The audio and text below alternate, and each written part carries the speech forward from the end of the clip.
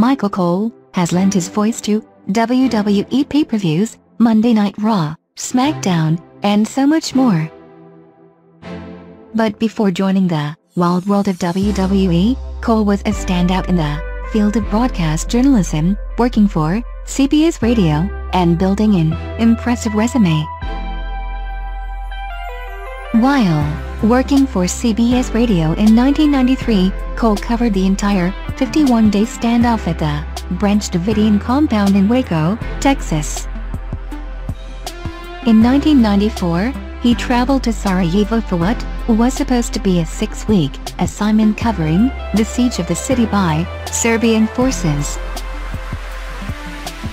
The assignment turned into a nine-month, life-changing experience that saw him report daily from a war-torn city, ducking snipers and mortar shells at every turn.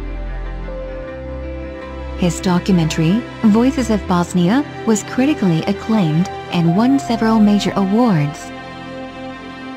With experience in reporting the most tragic of events, Cole was dispatched to Oklahoma City. On April 19, 1995 to cover the horrific bombing of the Alfred P. Murrah Federal Building. Cole also covered three United States presidential elections. In 1988 with Michael Dukakis, 1992 with Bill Clinton, and 1996 with Steve Forbes, and then Bob Dole. One year after his final stretch of election coverage, Cole entered sports entertainment.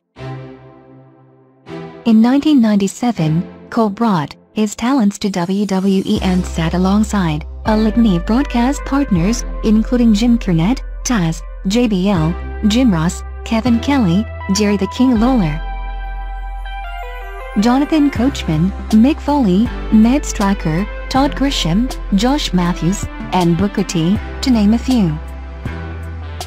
He's also mixed it up in the ring on occasion against Lawler at WrestleMania, most notably, and lent his advice to an emerging generation of announcers.